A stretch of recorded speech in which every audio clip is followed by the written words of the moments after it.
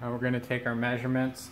It can be found right there. Uh, what it does is on this system, it gives a fuel level of three millimeters, okay? And then it describes in here where to take that measurement and how to take it.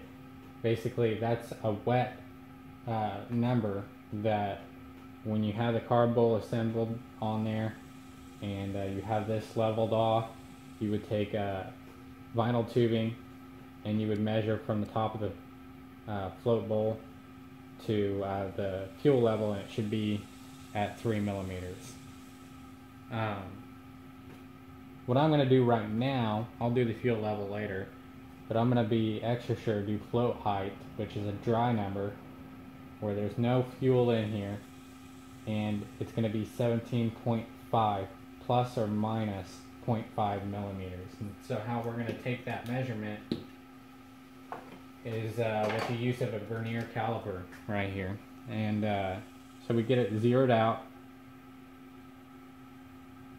And then we're going to take it all the way to 17.5, you know, and then lock it down. Screw that tab in so you can't move it. And we're at 17.5. We're going to use the bottom end of this.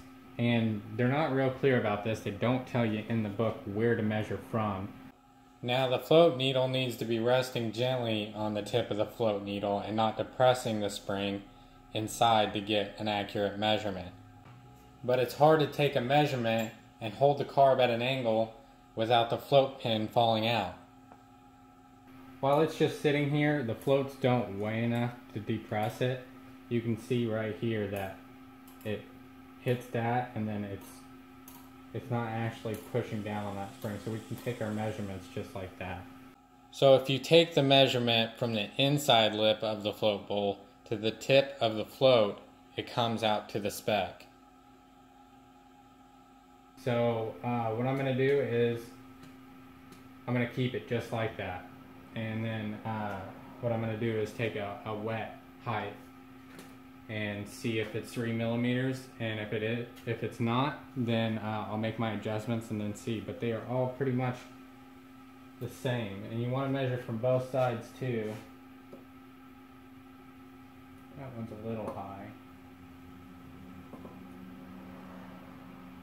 Checking the wet float level on these carbs and uh, as you can see I have the dots on here roughly to where uh, the spec is. The middle dot is three millimeters from the top of the car carb bowl, starting there. And then this is plus a millimeter and minus a millimeter. And it's got to be in between those, the lowest mark and the highest mark. And so that's what they all were. As you can see, uh, they turned out pretty decent. Uh, and this is the setup that I used to get it to to test it.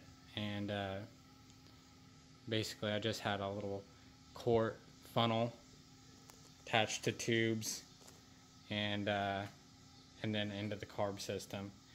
But um, it did make a little bit of a mess but I'm pretty pleased with how it turned out. And uh, everything is up to spec.